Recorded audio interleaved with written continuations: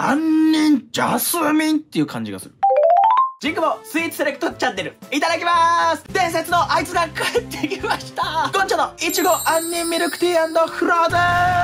ン去年 SNS で話題になって1日に1万杯売ったあいつが今年もお帰り。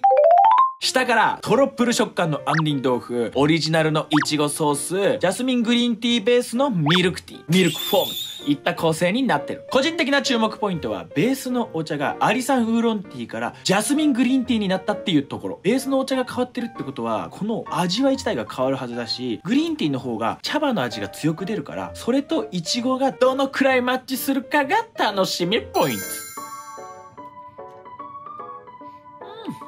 トロップル食感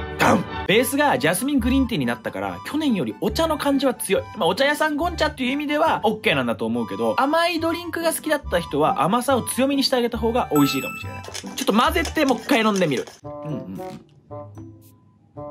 あ、ソースの果肉感はでも結構強いから、ソースをこれ、マシマシとかにしたら、いちご好きな人は甘みも増えて、より良くなるかもしれない。結構こだわりのジャスミンティーな、なんか、ジャスミンと茶葉をこう何度も重ねて作りましたみたいな感じだから、ジャスミンの香りがめっちゃ濃い。杏仁豆腐は中華料理屋さんの杏仁豆腐みたいに味は濃くてしっかり出てるんだけど、釣った時に杏仁豆腐がドゥルーってたくさん入ってくるのかなと思ったら、思ったより量が少ないかも。だから、杏仁が好きなんです私っていう人は、これ自体に杏仁豆腐さらに追加で足せるはずだから、足した方がいいかもしれないね。杏仁っていう感じっていうよりは今回はちょっとジャスミンっていう感じがする。フローズンの構成も一緒で、トロップル食感の杏仁豆腐、オリジナルのいちごソース、ジャスミングリーンティーをベースにしたフローズンという構成になってます。フローズンにするってことは、氷にするってことだから、甘さだったり、お茶の風味が変化する。その変化がどれぐらいあるかを見ていきます。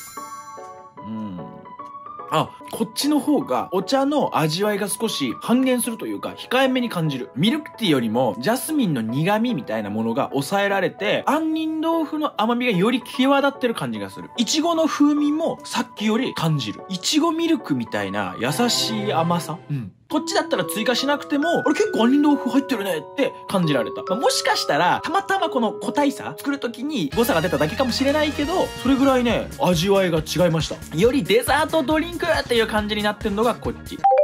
伝説のゴンチャのドリンク復活ということで、いちご杏仁、ミルクティーフローズンを飲んでみました。個人的には甘いのが好みだから、フローズンの方が好きだった。ジャスミンティー大好きなんですみたいな皆さんは、フローズンじゃなくて、ミルクティーを飲んだ方が、ジャスミンの味わいを感じられるからおすすめです。こちらの商品、3月16日発売開始なんだけど、ゴンチャさんね、販売期間というものをね、明言してないんですよ。なんで、もういつなくなるかわからないんで、すぐ飲みに行ってください。待ちきれないよというそこのあなた、朗報です。なんと、新宿ミロード店、大宮アルシェ店では、9日からすでに売ってます。先行販売ってこと？そうだよ。先行販売だよ。ということでこの動画が出る頃にはもう売ってる店舗があるんで新宿大宮に。ドラッシュ今回の動画が美味しそうだったよという方はですねぜひチャンネル登録とグッドボタンお願いいたします。また飲んでみての感想ぜひぜひコメント欄で教えてください。よろしくお願いします。それではまた次の動画でお会いいたしましょう。